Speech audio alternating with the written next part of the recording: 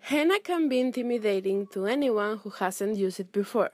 So in today's video I'm going to show you a trick to do complicated designs with henna like the photos on Tumblr.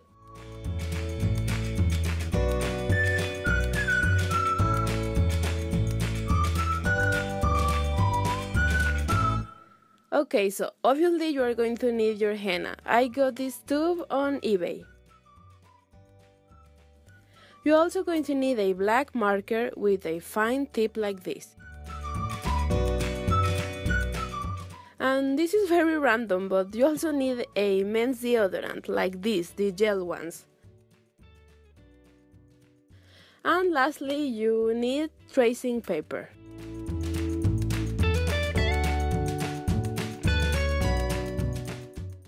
Take your marker and start drawing on the tracing paper the design you want to have on the skin. This will act like a guide for your henna design.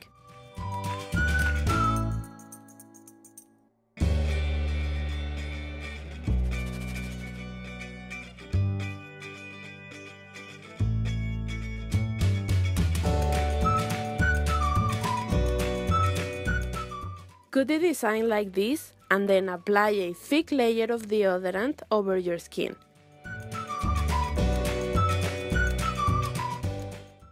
And place the design on top and press it for a few seconds. This will transfer the ink of the paper onto the skin.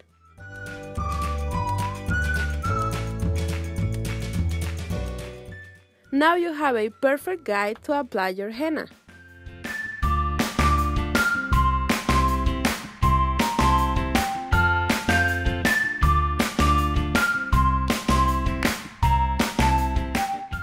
I wanted to have a bigger and complicated design on my hand.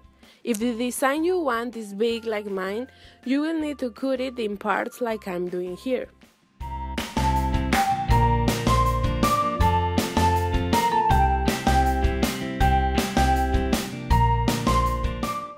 Keep in mind that this is only a guide and it doesn't need to be perfect. This will only help you to give you an idea of what it should look like. Now that you have the guide, it will be easier to apply the henna.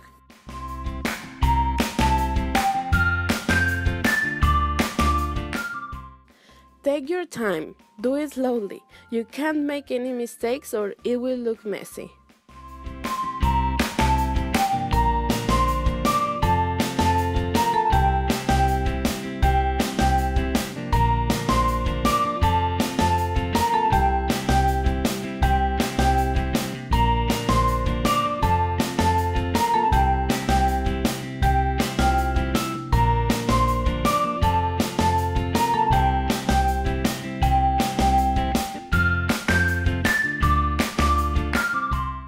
Once you're finished, it should look something like this. The guide will come off once you take a shower, but the henna will last up to 10 days. Once it is dried, it will start to peel off like this and this means that your henna is dried.